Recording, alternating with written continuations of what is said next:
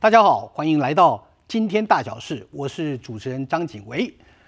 今天我们要跟大家继续来谈蒋经国日记啊。最近呢，可以说是在去年年底，美国 Stanford 大学啊胡佛研究院呢首度公开了蒋经国的日记的原稿。那么大家都知道啊，蒋经国虽然已经啊去世了啊，已经有三十二个年头了，但是在台湾许多人呢。的心目中啊，还是非常怀念他，以及怀念他领导国家的那个年代。为什么会这个样子呢？他是什么样的一个时代背景，造成民众对他这么的爱戴啊？透过蒋经国日记啊，我们来深入进入时光隧道，一起来啊探究蒋经国许许多多的内心世界，以及他处理国政的时候所面对的各种挑战呢？他所应应的心路历程。那我们在我们现场邀请到的是。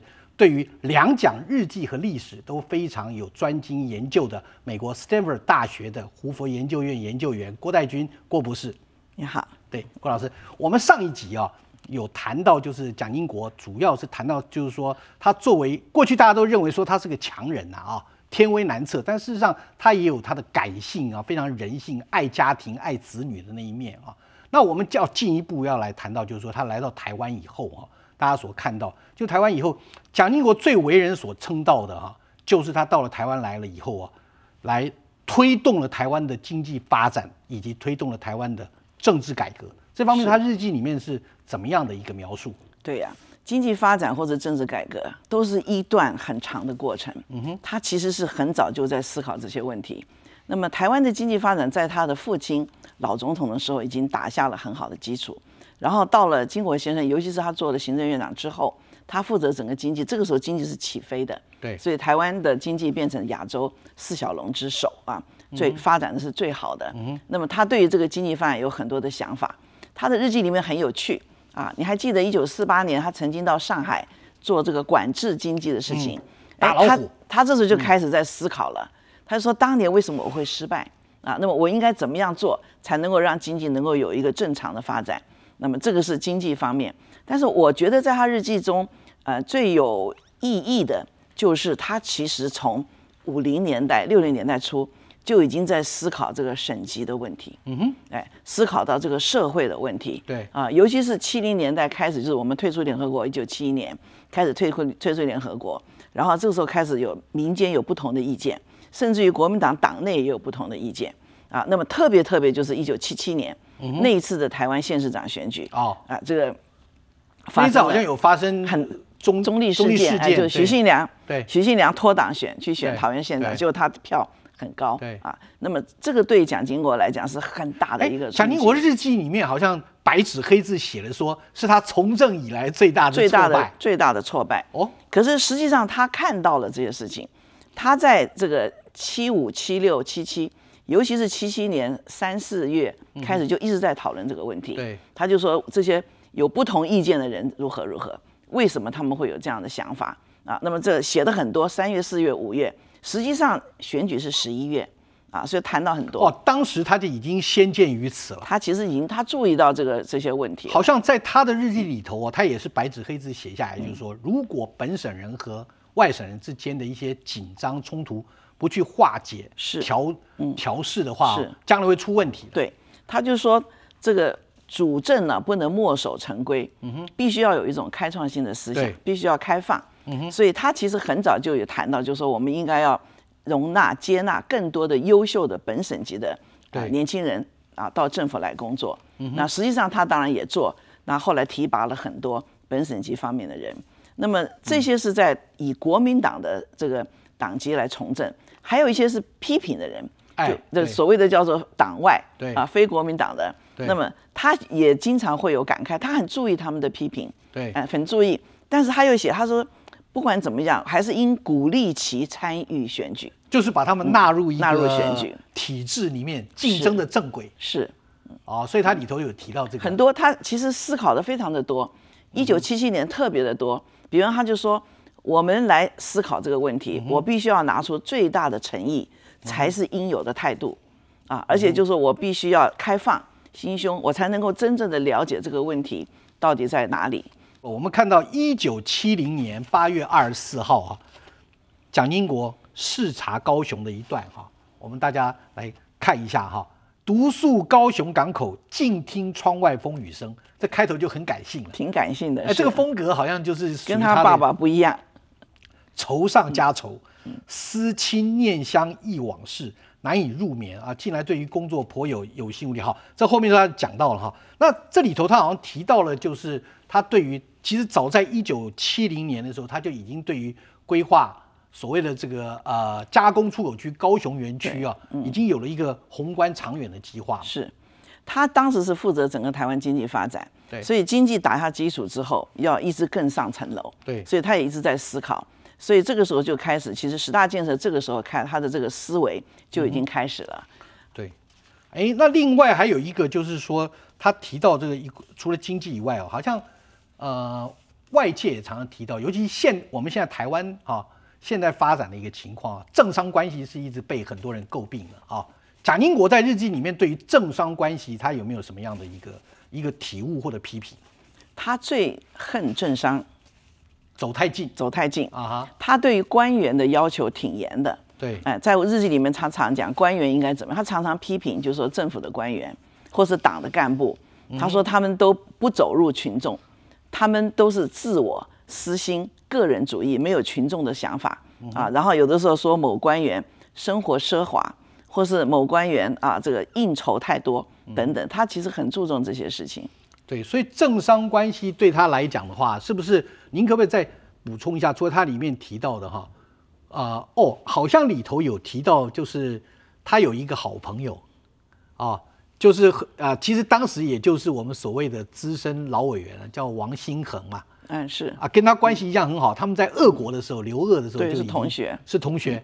那后来蒋英国就是当了行政院长还是总统以后，他就开始就是写信给那个王兴恒，就是说我现在不能，我要跟你暂时保持距离，不能不能够继续来往。这一段是不是？所以他是很注重这些。对，其实你知道，蒋经国先生是非常注重改革。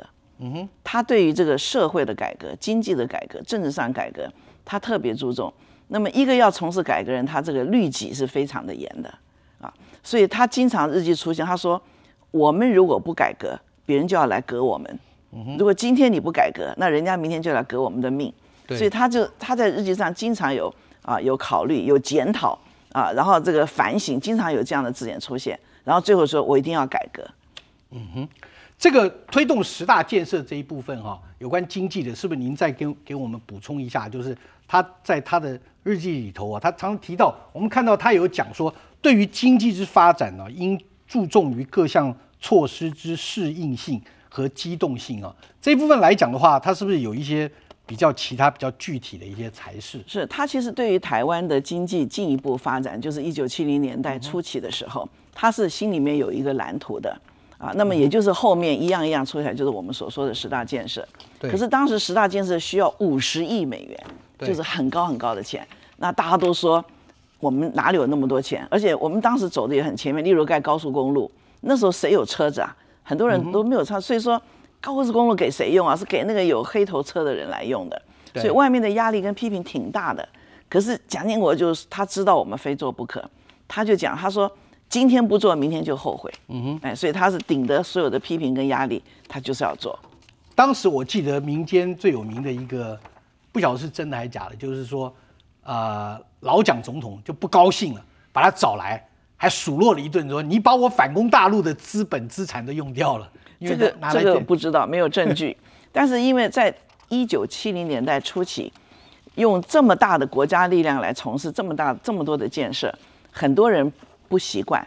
不能接受，何况要筹措很多很多的财源啊，是很难。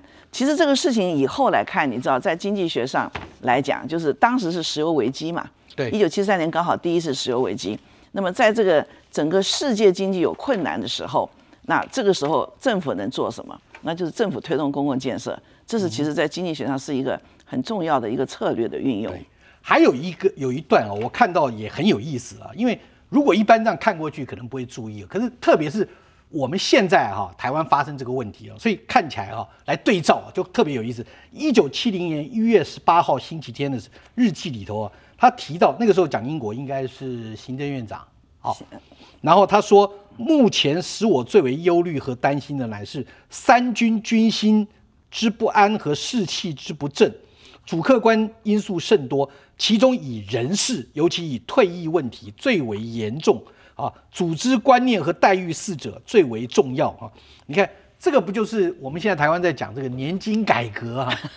这个好像他很早就看到，就是说三军军心的稳定啊，跟提振哦，跟他的这个啊退役以后的这个待遇问题啊，或者什么等等很重要，是不是？他那个时候就看到了？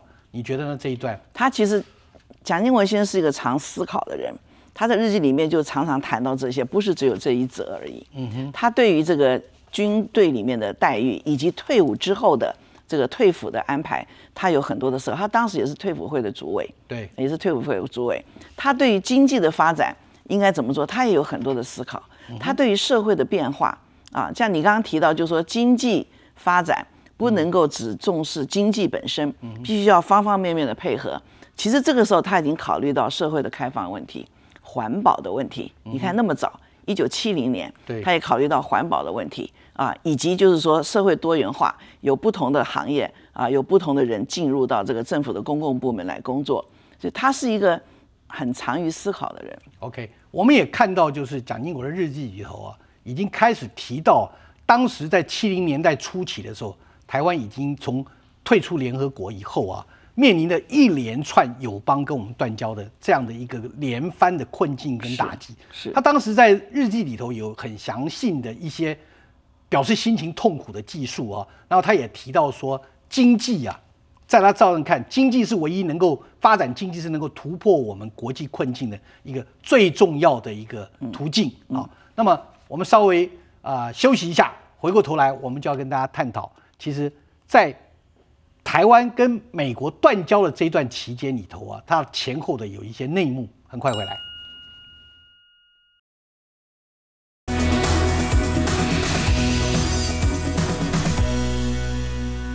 欢迎继续回到今天大小事。我们今天继续跟大家来探讨蒋经国日记啊。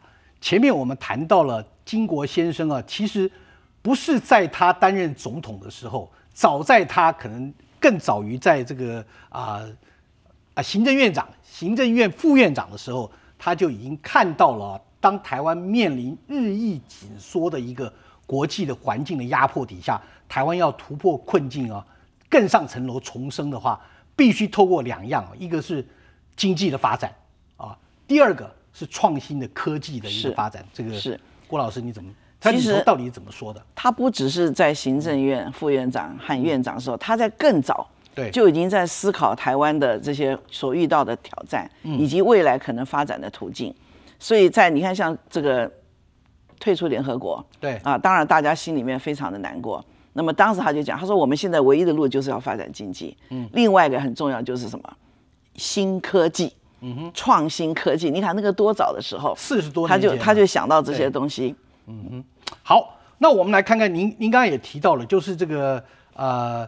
蒋经国，我们从这个历史上来看哈，蒋经国担任这个总统的时候哈，他担任总统是呃民国六十七年，对，七八一九七八年，然后他日记写到民国六十八年，哈，是，换句话，他当第一次当总统的前两年啊，马上碰到了一个天翻地覆的大震撼，就中美断交，中美断交，也就是美国跟中华民国断交，是，不论你说。台美断交还是美国跟中华民国断交？嗯，那当时的情况，他在日记里面是怎么记载？好像非常的痛苦。这件事情是大家都很悲愤，为什么？因为美国跟中华民国是数十年的盟友嘛，对，这么深厚的友谊。可是美国要跟中共建交，要跟我们断交，竟然是在几个小时之前才通知我们。对。啊，原来还打算同时宣布，那就是太太不仗义了。那所以他的日记有谈到，就是说安克之大使，对。啊，那么在半夜里面说要求见，那么最后是在这个半夜两点多他们见到面，对，安克之大跟他讲，跟他报告啊，跟他报告了这个，就是说这个明天早上九点钟，华盛顿就要宣布了，要跟这个中共来建交，而且要跟中华民国断交，那这个当然蒋蒋经国先生就用的这个悲愤啊，非常的悲愤这个事情。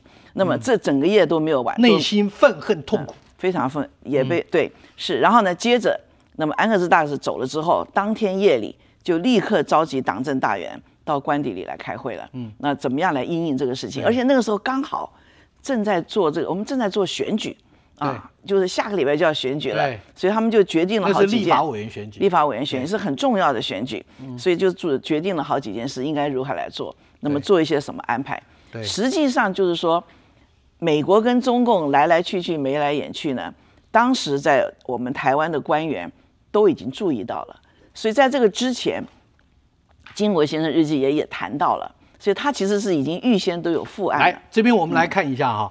蒋经国当时的日记啊，提到的美国大使啊，就安克志啊，于十六日，这个是在啊民国六十七年的十二月十六，嗯，晚呃清晨两点哈，然后为有这个极紧急的事要要求见哈，果不出所料，对，看这几这几句话是重点，果不出所料，其实早就知道，所以当时行政院外交部已经有副案，有几个方案就拿出来讨论如何来做这个事情。对，那这个里头啊，但是这个这里头我们也看到，就是说，呃，它里头有一段啊很有意思的一一段技术啊，它就是说，嗯，由于群众之行动增加了不少，情绪之不安宁哈，财政金融和经济情况没有变动哈，虽然明星啊是还 OK，但是民众的愤慨哦，大家帮大家回忆一下，说当时美国的副国务卿嘛啊。他这个 Christopher 啊，来到台湾，结果被砸鸡蛋啊，或者什么等抗议嘛？对对对，那时候那时候我们学生时代嘛，啊，大家也都很很悲愤。但是蒋经国在日记里头记了一个哈一段，他说，呃，美国的这个政府代表团于夜间抵台北时，受到示威群众之严重干扰，乃是极为不利之意外事件哈。然后他说，这个要看使我预部的。一盘有利的棋啊，变为不利，群众难以控制，深以为害。这怎么回事？这个就是因为他们就是说，政府早就已经在准备，在预备，就是说一旦啊台美断交以后，那么应该要怎么做？那么当时就希望说，断交以后是不是能够继续维持中华民国的名字？然后在这个我们的这个驻外的大使馆、总领馆那个数目能够维持多少？啊，然后有各种的有利的安排，所以是这是金国先生意思。他本来有一些规划，可是因为 Christopher 来以后，台湾的民众反应非常的热烈啊，这个到处抗议啊，撒花生、采花生，又骂这个卡特总统等等。花生卡特。对对对，所以就是那个气氛不是很好啊，所以就是他就认为就是说，呃，民众的抗议他没办法控制。但是呢，因为这种抗议呢，就使得他原来的这个希望能够跟美国商谈，能够有更多对我们有利的一些条件，他认为可能就不那么容易。那后来到底有没有真的受到影响？没，后来我相信是有影响。后来我们在谈的时候，美国本来只给我们留四个四个代表处啊，office 四个办公室，后来我们还跟他谈判啊，增加到八个。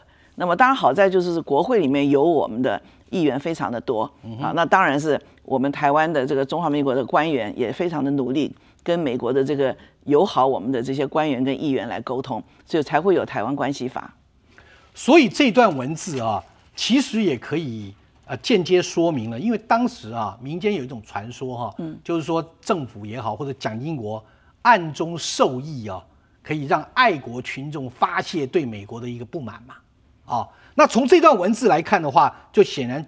蒋经国并没有希望这样子，应该不是啊，应该不是。好，那这里也让大家来另外来看一个，各位看哈，当时美国跟中华民国片面宣布断交的时候哈，还有一个我们看到他日记里头啊，你看那那几天的日记有两个特色，第一个他的字写的特别大啊，所以过去来讲的话，是不是讲英国日记一天呢，通常是密密麻麻的一页嘛，一页。只写一页，所以他在中美断交的那前啊那个前后前后嗯，有时候一天都写了很多，然后字又特别大，所以这个也您这个我想可能两个状况，一个就是说非常的忙，心情的压力啊很沉重；二方面就是说他其实这个时候他的眼睛已经不太好，所以为什么他日记写到七九年，就是因为他后来去做了这个白内障的手术。嗯哼。好，那还有一个大家很关心的，就是说这个到底啊，呃，蒋经国哈，当时在他任内的时候，在从他日记里头哈，有没有提到他培养接班人的问题？因为到今天为止啊，大家都还一直在提到说李登辉其实不是他真正属意的啊，而是孙运璇。很多人都关心这个问题。哎，当年这个呃，包括就是老总统日记开的时候，也很多人来问这个问题。嗯，我们没有办法从日记里面拿出一个正就是肯定的答复。但是呢，在日记里面我们可以看得出来，他是非常欣赏孙运璇，而且他是刻意的培养啊。他不但是呃这个提名孙运璇为行政院院长，而且他去哪里都带着他啊，前前后后经常讲与运璇兄商谈。与运玄兄谈这个中共之事，与运玄兄谈这个党员之这个德行啊，如何如何，就表示他跟孙运璇是非常的心意相通的，心意相通，经常出去哪都带着他。那都没日记里头都没提过蒋经啊，不是提过那个李登辉吗？啊，当然是有，但是少。嗯，因为还有就是说，你知道我们在看这个国民党的政治，当时这个国民党的这个中央委员排名，孙运璇先是第三位。嗯，李登辉先是十几位，嗯，十五，对，所以说其实金国先生是想要孙运璇来接的，嗯，哎，为什么？还有一个可以证明，就是他孙运璇当了行政院长没有多几个月，金国先生就在想说谁来接替行政院院长，他就已经在思考了，因为行政院长按照我们宪法来讲的话，才是真正的最高行政行政的运作的实务的首长嘛，啊，是，所以这呃这一部分来看的话，还有。李登辉那个时候的话，按照那个来算的话，他当时是省主席，嗯，台湾省主席。好，那我想最后有一个问题啊，来请教，就是说，您当然现在看到这个蒋经国的这个日记啊，整个看完以后啊，你觉得就是说，面对我们今天现在这个台湾的这个社会哈，那重新来看蒋经国的日记，是对对他的个性也好，或者是他领导作风，对于你有没有什么一些新的感悟或者是观点？是，呃，我只看了极小部分的金国贤日记，不是全部啊。但是我自己在看他日记，我有几个特别让我印象很深刻啊。就第一个，金国先生特别注重改革，改革，改革，就是社会经济啊、军事、党务、政务各方面经常提到改革。那么第二个就是他金国先生是真的是一个我们讲叫庶民的领导人，他心里面想的就是老百姓。那么第三个，他很苦啊，他心中苦，为什么？因为国家社会面临很大的挑战啊，然后他的家里面他也关心这个关心那个啊，他也特别的感性。那么，但是很重要就是说，金国先生在这样的这种过程，他的思维中，他做了几件很了不起的事情啊。你看，他让台湾社会更加开放，他对于不同意见人他非常的宽容，嗯啊，甚至也鼓励他们出来竞选啊。然后他对于这个经济的建设，各种建设的平衡发展。贫富不均的问题，他特别的重视。更重要的是，他真正扎根于台湾，他真正爱这个台湾，所以他让中华民国政府、让国民党真正的在台湾留下来。那么，当然更不要讲他晚年做的这个大的幅度的这种民主改革啊，各种的开放、两岸关系的改善等等。好，对于老一辈的人啊，现在台湾啊，可以说蒋经国在中老年。这一这一代来讲的话，是一个这个啊非常正面的一个领导的政治的典范哈。但是我们看这个所谓的老一派的这个领领导人物啊，他一方面啊，当时的台湾是面临的各种可以说是国际的压力是非常艰困，但另一方面也是台湾那个年代充满了团结、活力跟奋发的一个年代啊。这不是没有道理的。所以我们今天各方面这样组合起来看啊，透过蒋经国日记的一个分享啊，让我们您。啊，各位观众是不是也得到了重新的一个反思啊，跟想法？那我们今天非常谢谢郭老师、郭教授今天来跟我们分享。好，那么今天大小事我们本集呢到此完事，我们下回再见。